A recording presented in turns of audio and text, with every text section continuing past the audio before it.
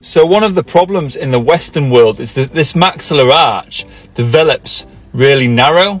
So one of the problems with a narrow palate is that the tongue can't sit on the roof of the mouth, behind the front teeth. The airway can then effectively not open and often this creates a forward head type posture and it creates a mouth breathing pattern. Additionally, you'll also get scalloping on your tongue because the tongue needs to be sat comfortably on the roof of the mouth for the airway to effectively open.